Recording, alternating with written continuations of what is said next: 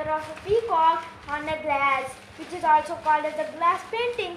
I have used this glass color outliner for the outline of this peacock and I have used this glass color inside for the inside painting of the peacock.